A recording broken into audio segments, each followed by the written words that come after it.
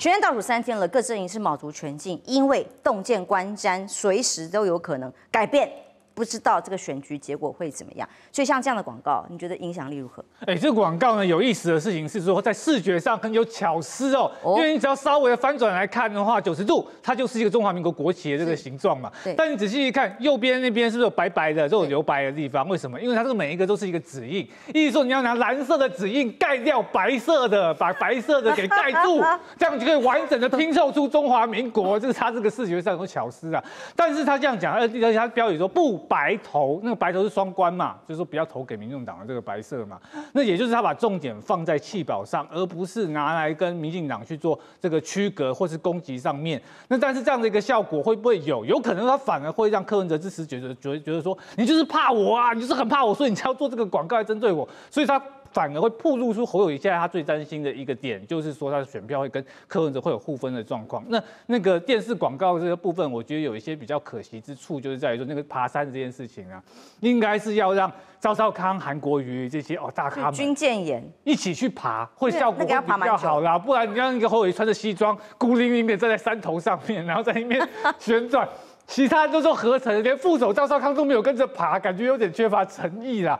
那至于跟二零零八年这个联想，坦白讲，是因为有别人这样讲，我才知道这件事情。因为二零零八年这广告非常成功，我也看过，可是没有想过说它是在构图上有这样的一个相似之处，所以我觉得它这个联想可能只能针对一些对于二零零八年非常熟悉、非常有情感的。深蓝族群会有帮助，那对于扩大到去跟柯文哲互相拉扯选票上面的这个效果，可能就没那么强了。我我我想补充一下，刚才我我非常赞同朗东的说法，因为这个啊，如果用这张图，有没有？这是经典之作《硫磺岛》。如果说是赵这个侯友谊蹲在前面，然后后面就包括韩国瑜啊，这个赵少康啊，然后包括像蒋万安啊、张善政这些市长结合在一起的话呢，哈，他那个效果，我觉得。就会比较明显，因为你要强调是团队嘛，你不白投是为什么？不投白是因为团队跟个人的差异哦，我认为是这样。好，所以弃保这个议题，我们来看下一张戏剧了啊。当然，在侯友谊的部分，好几场造势场合，他已经公开喊了，受访也喊啦，他是说，哎，当选总统的话，一定会结合蓝白共治。虽然当时蓝白分手擂台，大家一记忆仍然犹新，但他还是认为蓝白共治是必须的，所以要集中选票下架民进党。虽然讲的含含糊一点，但集中选票也是一种弃保的说法嘛。所以柯文哲就说了啊，那个都是操作弃保的手法啦，跟我要蓝白合啊，联联联合政府都是这个概念。赵少康讲的更直白，赵少康怎么说？他说，呃，庄严严肃承诺不是吃豆腐，承诺要跟民众党一起合作，同时投何友谊就等于投柯文哲，什么意思？因为侯友谊要帮柯文哲实践政治主张，他所有的政见都会吸纳进来，成为他们政见的一部分，一起把好的政见来落实，是这样吗？呃，当然是啊，因为其实。之前为什么会有蓝白合？那有这样的一个合作的前提，就是我两党对于一些共识是有的嘛，联合政府、联合内阁，未来国家要走的方向，这样的共识是有的嘛。虽然这个合作破局了没有错，但是我们还是很重视一个国家的未来。那我们既然有对联合政府有共识，那就应该有个执行者吧？那现在看起来要找出这个执行者。就是希望大家有一个智慧的一个决定。那事实上，我们一直都没有在说弃保啊。一直说弃保都是民众党啊，我们这个两个字从来都没有说过，我们都只有说过集中选票，而我们也告诉大家集中选票的理由是什么啊，就是要政党轮替嘛。所以其实我们一直在强调哦，不是弃保没有弃保的问题，只有大家想不想要政党轮替的决心。只要有有想要政党轮替的决心，就会知道你要如何找出那一个执行可以组联合政府的那一个执行者嘛。所以我其实也觉得柯。主席哦，他已经开始有一点不知道自己在讲什么了。他居然开始讲到说：“哎，那未来我联合政府可以找民进党啊？如果是这样子的话，很早就讲过可以找民进党。对对对对，没有错。可他现在又再重新讲一次，我想这样子的说法反而会让一些支持者吓跑。他会觉得说：哇，我投现在我投侯友谊，赵少康跟我们说我投侯友谊等于投柯文哲嘛？可是你的话会让我担心，会让我觉得。”我投给你，难道是投给赖清德吗？他要绿的选票呀。他想到更多年轻人的绿色选票哟。他的选择，这是这是他的一个选择嘛？所以我们就是选择告诉大家，我们未来赢的话，那我们会怎么做？那就是我们一样会把民众党好的人才，大家一起海纳百川，一起不要说吸收过来啦，一起来组成联合政府。不管是柯文哲，不管是郭台铭等等。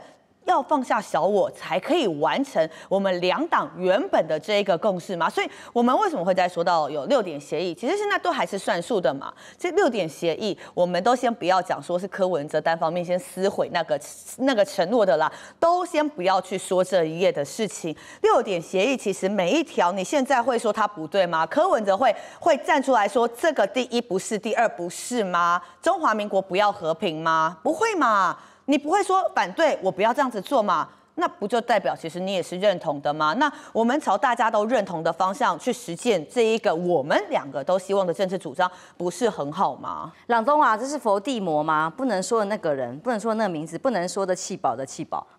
对，集中选票就是弃保这个意思嘛，结果都是一样。现在问题是说，因为国民党啊之前一直想要用边缘化柯文哲的方式哦，包含在辩论会上面，吴锡盈就觉得被赵刚边缘化了嘛，然后就变空气了，觉得说用这个方式可以避免去激怒个柯文哲支持者，让他们在立委的这个部分，让柯文哲支持者也可以投给蓝营的立委。大概是这样，可是这样会造成在总统的部分，其实真可以直接针对柯文哲的批评是比较少的。那现在用一个呼唤的这个方式，希望让一些过去有可能投给国民党，讲白一点就投给韩国瑜的支持者，可以从柯文哲那边回来。可是我观察到的现象是这样子，就有一些过去会投给韩国瑜的支持者哦，甚至年纪是比较大的，六十岁以上，他就是喜欢柯文哲就很呛辣，痛骂民进党，打绿很凶狠的这个风格。而且现在不止柯文哲一个人是这样。甚至他底下的这个什么黄国昌啊、黄珊珊啊，每个人都是很凶狠的样子，在骂这个时候，他整个造势的场合是比较好看的。在这一个礼拜来讲，那个气势是还蛮强的。那第二个是说，那当然有一些韩粉他会蛮在乎韩国瑜本人的想法嘛。那但是韩国瑜他确实是有多次的说明，那就是唯支持侯友谊啦，柯文哲不会上啦，就叫他票要投给侯友谊。那但是柯文哲就用一招这个太极拳啊，就说这私底下讲的不一样啊，像是这个有公检讯会不方便公开，不会像侯友谊这样公开。韩国瑜说私下跟台面上讲的是一样的，所以柯市长不要误会了。对对对，当然就也是权威嘛，这部分，所以我相信是这样。但是他会让一些比较喜欢柯文哲风格的过去的韩粉有一个理由去继续的去支持。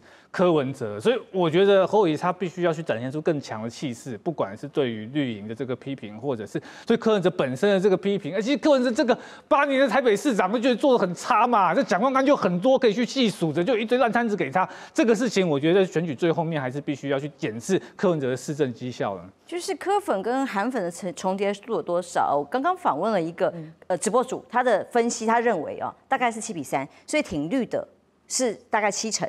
挺蓝的中间选民，所谓的韩粉，大概其实只有三成，而且现在在降低，不知道到底柯文哲抢到的是绿的票多，还是抢蓝的票多？三天后开票就知道了。我们先看下一张 C G 哦，所以这个弃保效应到底弃谁保谁？小鸡哎也很紧张啊，小鸡在蓝白。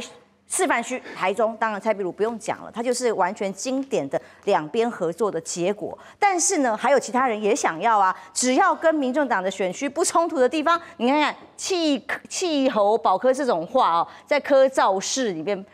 呃，很澎湃啊，真的。然后也有廖伟翔哦，陆廷刘廷伟也有陆柯文哲帮他宣传的影片，虽然没有站台，也是有宣传影片在上面啊。那虽然呢，全台车少巧遇啊，加油的啊也更呃所在的蛮多的，还有林国春今天也加入这种行列了哦。台中林嘉欣、高雄李明璇、黄柏林等等的，所以虽然只要。不讲总统支持科就不算彩虹线，所以党中央不会再像前一阵子有一阵子党纪处分这样 没有那么严格。但是只有新北台中可以接受拍片哦，那这样叫这个当柯文哲就很酸哦。他说这叫市场实力原则，反映出谁才是比较强的母鸡。那虽然不能够喊出总统支持谁，也是一种风向跟指标。这是柯文哲的看法，你怎么觉得？我觉得柯文哲可能把实力原则跟增量原则搞反了吧。哦，实力原则是说哦，对你比较强，确实柯文哲是一个很强的商品，他个人。但是蓝营的母鸡不是只有侯友谊，蓝营母鸡是他是以这个政治明星还挺对对对，他是以 整个党作为一个背后嘛，不不然的话，那为什么民众党不是各区都提呢？其实现在这个状况就是紧绷的选区，或者是选群相对艰困的选区，它需要增量选民，怎么增量选民就是额外多出来的。那如果柯文哲没有加进来的话，那可能很多这个民众党的的选民，他可能去他就不投立委票了，反正这区没有我民众党的立委。那我就不投了嘛，所以我觉得这个比较像是增量增量选民的一个概念，增量原则了哈。那柯文哲当然他一定要这样讲，因为柯文哲现在所想要的是呃侯友谊，就是比较弱的那一个，好，机器哇机器哇万牙万牙，哦是这样，因为他怕被成为那个不会赢的选项。是好，他当然他要慎防这个，另外就是他尽量堆高他最后的票数嘛，这个对他未来的发展也非常重要，不论他到底最后能不能获胜。那另外一个是说现在这么多，其实。我今天有访问这个呃这个周瑜修啦哈，就是进办的白白银进办的主任，他说你在归野啦，不不拿在归野你你在归野啊，所以还有啦哈，那最后会不会放出来就看各候选人自己去决定，或者是最后要不要再巧遇一下，至少都是互相的善意嘛。对，好，但我是觉得今年其实在立委选盘的部分，整体来说对民进党相对的是不利啦，因为我刚刚在我们今天是 live 嘛，我刚刚才从台中大理杀回来哦，我四点杀下去杀，为什么就去？帮这个蔡碧如委员啊，这个站个虾哈，就帮他讲这个讲开讲一下，庙口开讲一下。那我是觉得整个气氛非常的好。那你如何有一个共同的一个力量的出口？在总统当然会有一定程度的，因为总统赛局是零和零和游戏，它一定会比较尖锐。可是，在立委的话，只要有一个可以 match 的空间，因为大部分是不重叠的状况，其实整个气势是越来越好，越来越好了哈。所以我想这个是一个正向的发展呐。嗯，所以马上就要投票了，到底这个所谓气泡效应有没有可能发生？到底蓝绿选民 选民跟白的选民重叠度，其实很快就要揭晓了。休息一下，再来更多深入的话题来讨论。